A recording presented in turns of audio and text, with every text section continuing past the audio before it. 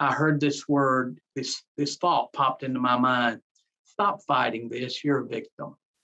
This happened to your grandmother. It happened to your aunt. It happened to your father. And it's it's generational. You're a victim. This is not your fault. Just stop fighting this. Uh, you can die and go to heaven. It'll be all right. Just stop fighting this. And can I tell you, Shaun, for a moment, that brought me some peace. It brought me peace because all of a sudden I realized I am a victim. I'm a victim. I didn't ask for this. I didn't need this. I didn't want this. This happened to me, not my fault. It happened to me because of my family curse or whatever it might be.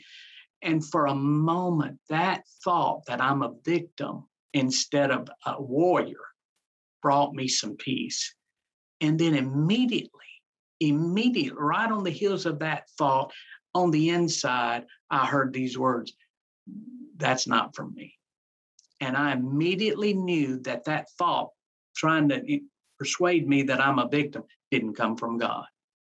Satan was tr- changing his tactic on me. He was changing his tactic. And I said, I remember saying out of my mouth, I'm not a victim. I'm not a victim. I will defeat this thing in the name of the Lord Jesus. And when I said that, I felt myself going up.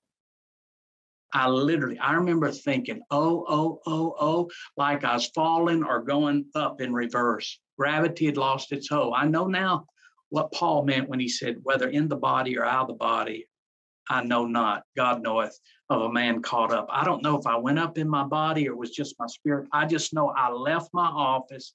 I felt myself going up. And when I did, next thing I realized I'm standing in heaven. And the Lord Jesus is there. And it's the same Jesus that walked in my room. And he uh, grabbed me and hugged me. And Shaun, when he did, it was love went through me. I've never experienced anything before that moment like that, and I've never experienced anything like that. He said, Eddie, I love you. And I said, I love you, Lord Jesus. And the colors there were just beyond brilliant. Um, the peace, people ask me, well, would you breathe oxygen? People in heaven live on love, God love. It went through my being. And then all of a sudden, he just started pulling away. And I said, and I knew I was going back. I knew I was going back. And I said, Lord, I don't want to go back. And he said, You've got to go back. And I said, I don't want to go back. I said it the second time. He said, You've got to go back for your wife and your little boy. And then he said the third time, But you've got to go back. I said, I don't want to go back the third time. He said, You've got to go back. And he pointed to a room to the side, and there looked like thousands of army cars empty army cots. And he said, if you don't go back, those will be full of people who's mentally become enslaved because they haven't heard the truth about their thought life. And then the next thing I knew, I'm coming back into my office and I'm on the floor.